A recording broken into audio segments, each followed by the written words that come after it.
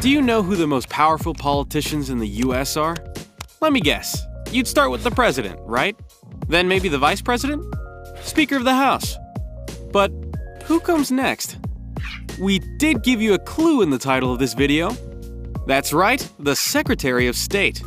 Some say position that's even more powerful than the VP. But what does he or she actually do? Thomas Jefferson was the country's first Secretary of State. His primary responsibility was to keep the laws, records, and Great Seal of the United States safe. But Jefferson added another role. Due to the time he spent in France around their revolution, making sure that the US remained a key ally.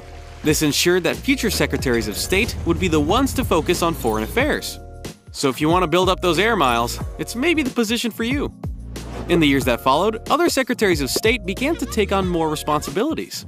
During the Civil War, for example, William Henry Seward famously negotiated a treaty with Great Britain that was designed to end slavery in the US.